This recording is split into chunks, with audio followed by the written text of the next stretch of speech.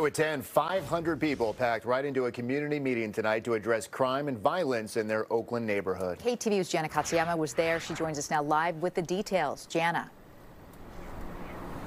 Julian, Mike, there was a lot of frustration. There was a lot of despair and anger.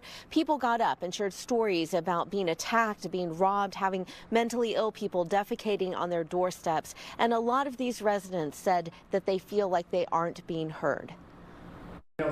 City Council member Dan Kalb organized the community meeting at the Oakland Tech High School auditorium. A crowd of hundreds showed up and lined up, frustrated and angry, sharing their stories. It is one of the most terrifying things that's happened to me in my life. Denise Lillian described being attacked last Monday by young people she thought at first needed help. On the corner of 45th and Shafter, down on the pavement, punching me, kicking me, dragging me through the street. A business owner said he worried about his staff's lives with multiple armed robberies. Uh, my staff has been held up at gunpoint four times in six years.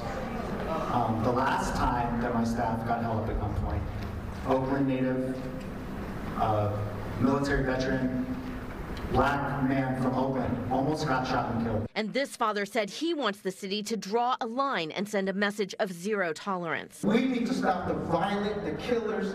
We're coming after y'all. Who wants to live like this? Police say they are going to work on getting more visible patrols through the neighborhoods, and Kalb says he will push for more consequences. If they're committing these violent crimes repeatedly, we can't just say, oh, please don't do this again.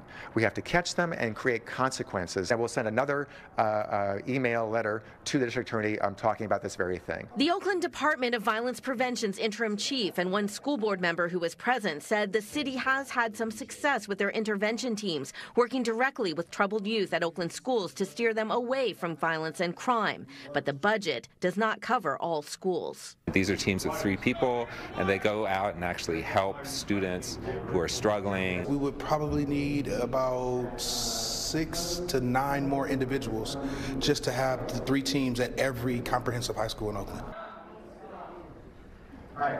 And tonight, after the meeting, I talked to some people who said they wish that there would be more of these community meetings between residents and city officials. I did just get a message from Dan Kalb. He says that he plans to follow up on many of these issues with the area captain, and he also says he's going to push hard in the budget for uh, continued overtime uh, funding to try and make sure that the police are able to fill gaps. Julie. Yeah, a good packed meeting there tonight. Jana, thank you. Now